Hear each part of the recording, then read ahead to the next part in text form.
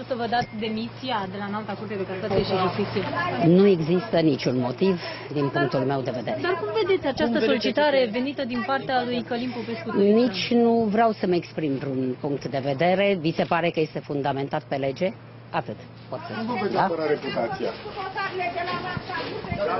Ați văzut că s-a făcut de către Consiliul Superior al Magistraturii, da, o solicitare către inspecția judiciară, având în vedere că prin acele afirmații E posibil, urmează să verifice inspecția judiciară, ați văzut, verificări se vor face inclusiv cele fundamentate pe art 97 din legea 303, inclusiv verificări dacă prin afirmațiile care au fost făcute, fie de către domnul Călim Popescu Tăricianu sau prin conținutul celor susținute în acea scrisoare s-a adus sau nu s-a adus atingere independenței sistemului Dar judiciar. considerați că afirmațiile Toate făcute de demersurile, da, mi se par corecte pentru că sunt fundamentate pe lege. Dar Considerați că se încearcă de decredibilizarea către Călim Popescu Tăricianu duc la decredibilizarea justiției?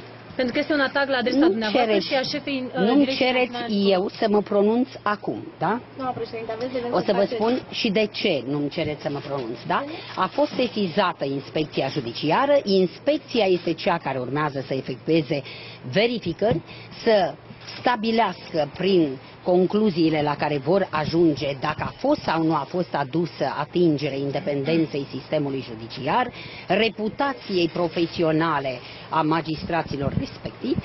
În aceste condiții, plenul ulterior va hotărâ în raport de rezultatul acelor Vedeți că să verificări. faceți dumneavoastră o cerere proprie de a... Voi evalua momentul la care se va impune efectuarea eventuală a unei astfel de... Da.